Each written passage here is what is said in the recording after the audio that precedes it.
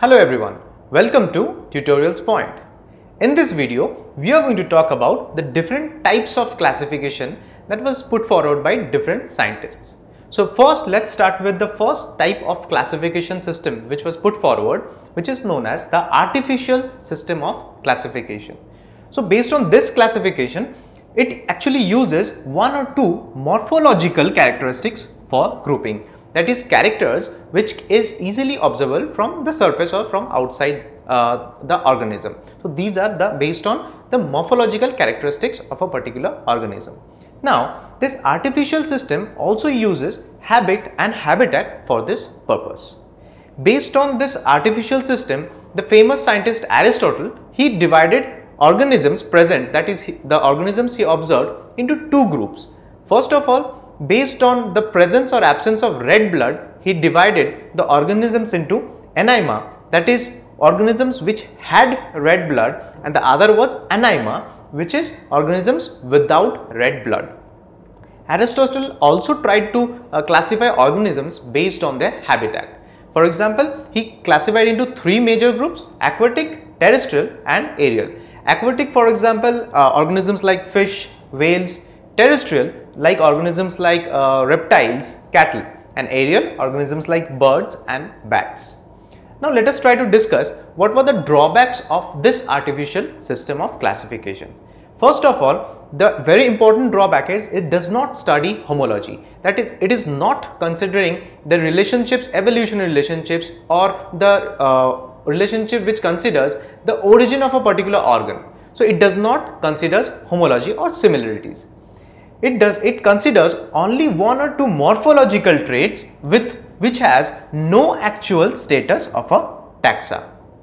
Now, these characters used which was used by the artificial system of classification shows evolution. So, we have already discussed that it does not show homology and the characters considered in artificial system shows evolution. So, it does not reflect any natural relationship. This is a very important point.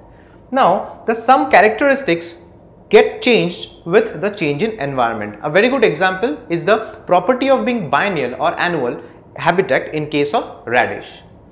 Now, in order to overcome these drawbacks of the artificial system, a new system of classification was put forward which is named as the natural system of classification.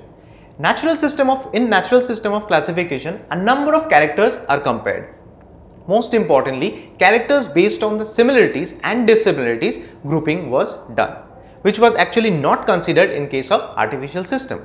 Now, in natural system, they use characters which are relatively constant. And what were those types of characters? They, the characters which were used were morphological, anatomical, cytological, etc. So, these are the characteristics which are more or less constant.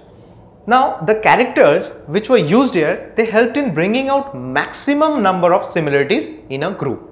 And in natural system, it also brings out comparable differences, uh, differences with each other of organisms belonging to different groups. Since this uh, natural system of classification is considering both similarities and dissimilarities, it also helps in bringing out differences from different groups. Now let us talk about why natural system of classification is better than the artificial system of classification which we have already discussed. Now in natural system very importantly each and every organism is stud studied unlike the overall study which was being done in case of artificial system of classification. In natural system a comparative study is performed that is as we have discussed they compare in natural system different groups are compared based on their similarities and dissimilarities in different characteristics. Now in natural system, natural relationship amongst organisms are also considered. So here natural relationships are considered which was not being considered in case of artificial system. The related organisms are only placed in a group. That is if some organism have some related or uh, similar characteristics then only it comes and belongs to a particular group which was not being done in case of artificial system. Now, it also prevents coming together of unrelated organisms. That is, if some organism have a greater number of dissimilarities, so those organisms are not included in a particular group. Now, after this natural system of classification, a new system of classification was put forward, which is known as the phylogenetic or the phylogenetic system of classification. So this is a system of classification which is a bit different because it uses characteristics which are based on evolutionary relationships. Now, in this system of classification, the most importantly is they use Darwin's book which has got theories based on evolution.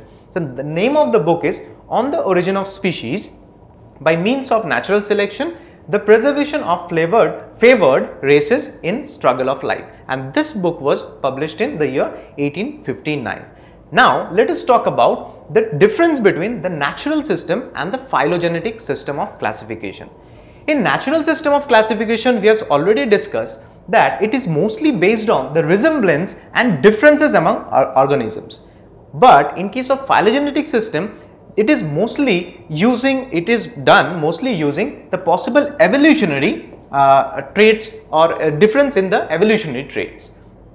A very important point to be noted here is, in case of natural system, fossils do not play a major role but as compared to phylogenetic system, in phylogenetic system fossils play a vital role in tracing the evolutionary relationships like in case of like dinosaurs, our, uh, our primitive uh, man. So those information about organisms which we haven't encountered, which we haven't seen. So those are possible only by the method of phylogenetic system of classification. So in this video, we have discussed about different types of classification First, we have talked about the artificial system of classification. So, this system had some difficulties or drawbacks which was put forward or overcome by the natural system of classification. Now, more advancement was done by the phylogenetic system of classification and we have also talked about the difference between the natural and phylogenetic system of classification. I hope you have understood and liked this video. Thank you.